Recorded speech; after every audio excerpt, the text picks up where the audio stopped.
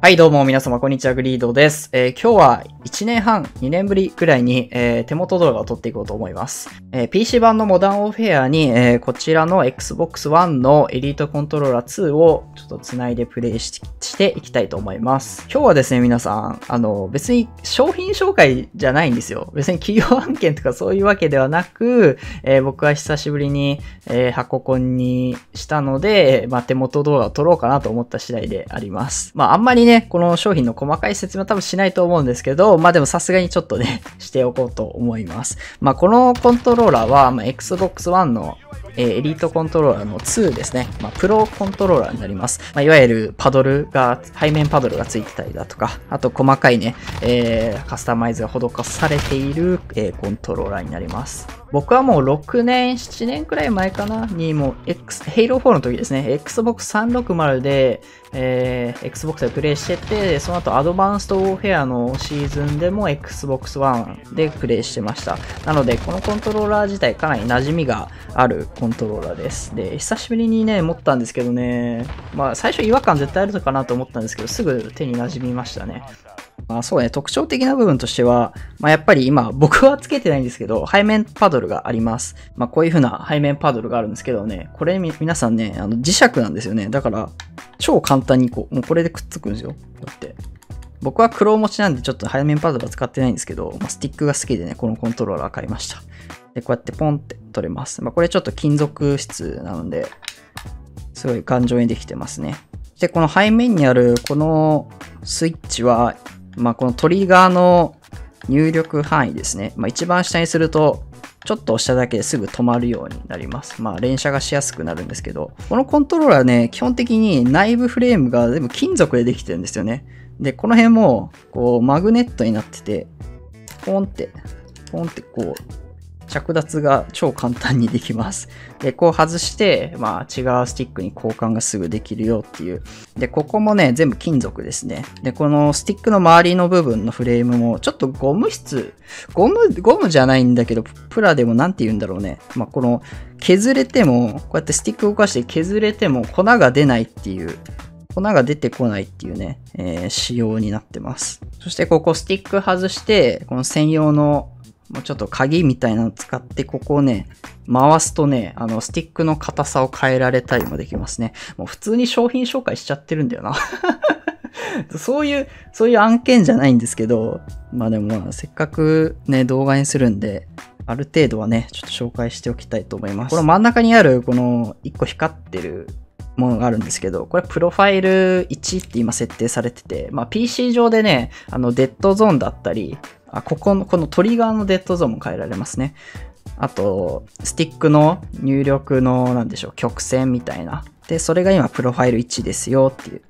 もちろん、あの、ボタンの、配置もね、変えられます。はい、というわけで、まあ、割と商品紹介しちゃったところで動画に行きたいと思います。皆さん動画の前にぜひね、ポチッとするだけなんで、高評価ボタンとチャンネル登録ぜひよろしくお願いします。さあ、というわけでやっていきたいと思います。えー、っとですね、まあ、まずは、上から行こうかな。よいしょ。ドア開いた？えー、あー、ヘッション入ったのか、全部。うん。えー、ちょっと普段よりも、普段よりもモニターとの距離を離してるので、ちょっとプレイしにくい。だんだんプレイしてると手元が離れていっちゃうかもしれないですけど、カメラから。ちょっとその辺、注意しつつ、いていていて、今上から撃たれたな。わー回復しきってないやつ。まあ、センターで湧いたら、えー、なんでこんなところに、やべえのおる。なんで2階にショットガンまあ、じゃあせん、このまま、通りを進んで、もうリスポンは変わってないから、日本の方まで行きたいですね、これね。やば、湧いてきたか。えー、近くまだ来そうだね。あ、リスポン買ったかなこれで。よしよしよしよし。で、僕がね、黒持ちを始めたのが、えー、まあ、Xbox 360の時だったかな。まあ、360の時に、当時は Halo っていう FPS をやってたんですけど、えー、その時もう7年、8年ぐらい前だかな。えー、当時はね、そのボタン、本体設定でボタンも変えられなかったし、COD に限ってはバンパージャンパーとかね、そういうボタン配置もなかったので、まあ、その、よいしょ。ジャンプチーとかね、をするには黒持ちをするしかなかったんですよね。ちょ、これ、これ呼びたい。えいっ。これ、たまに V トル離れた位置いても自爆するからもっと離れとこう。あいつローテしてるな。よいしょ。うーん。ん？点差がと飛んでもらうことだってさ。なんだっけ？何の話をしてたっけ？あ、そうだそう。で、黒、その当時、そのヘイローで強かったフレンドに 1v1 を頼んでずっと、えー、黒持ちを練習をしてたっていう思い出がありますね。やべ、死ぬ死ぬ死ぬ死ぬ。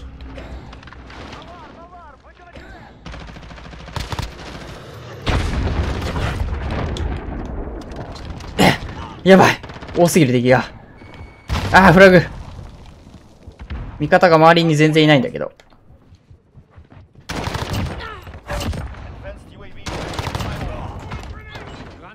よしよし、リロードしよう。ここは窓から、こんにちは。来い来い来い来い来い。よしよしよしよし。で、残り1秒か。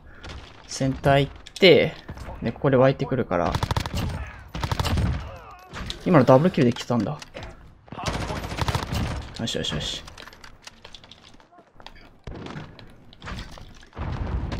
このまま行きたい。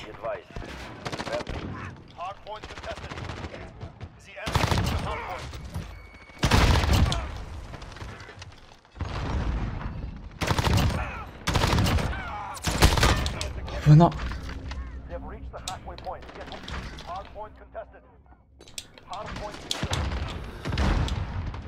なんでこんな武器しかないの？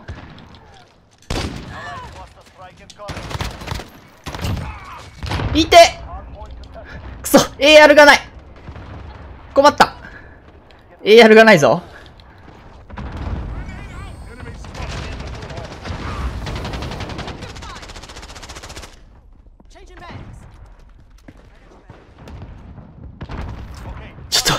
え、やる。え、やる、ちょうだい。そこに落ちてる、そこに落ちてる。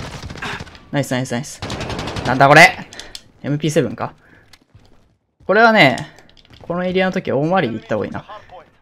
基本的に今のエリアは、海側の方が強いんで、大回り海側目指します。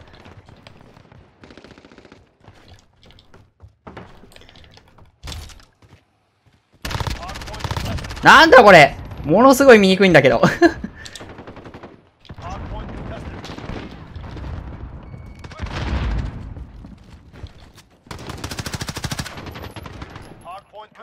ナイス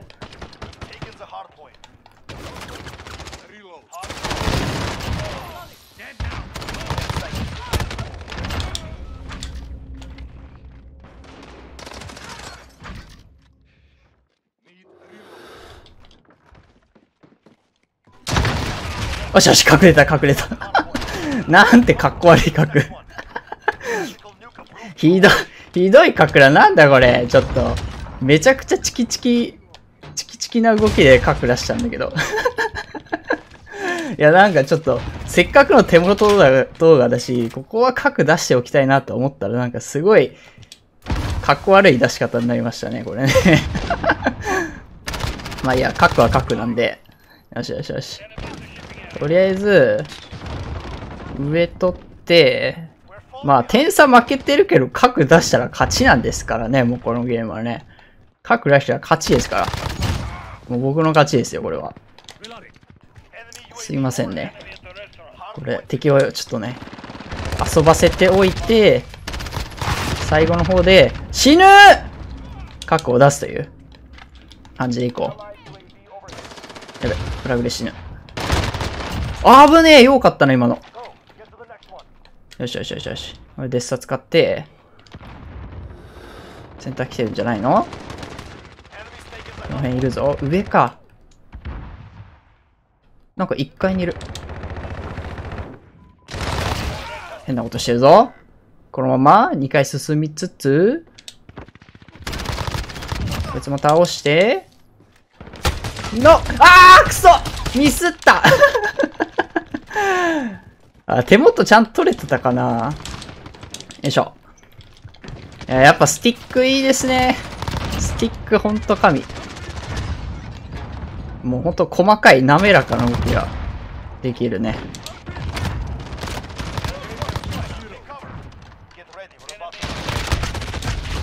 さあさあさあ、どうしよっかな。もう、これ読んどいた方がいいかな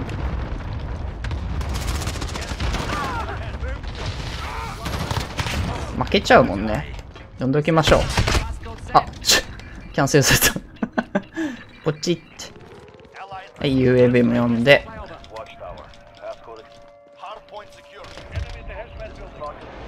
まあこういう風にね、連続キルがいい感じについて核出そうだなっていう雰囲気になったら、核を呼ぶ動きにシフトして、ま点差負けてるけど、これで勝ちです。30連続キルで勝ちです。まあ、次回作は核がないから、ブラックオフシリーズはね、このニュークリアがないので、えー、まあ、こんな勝ち方はできないんだけど。まあ、約4年ぶりぐらいに Xbox のコントローラー持ったんですけど、箱案のね。いや、最初はね、違和感あると思ったんですよ。ずっとね、PS4 で、もう大会も出て、えー、プレイして、この数年間プレイしてきたので、違和感あるかなと思ったんですけど、まあ、すんなりね、手元に馴染みましたね。まあもちろんあの PS5 が発売されたら僕 PS5 でもプレイしますし、PS5 のコントローラーをね、持つこともいっぱいあると思うので、まあどっちもね、使っていこうと思います。えー、よかったらこの動画の高評価ぜひポチッとよろしくお願いします。お疲れ様でした。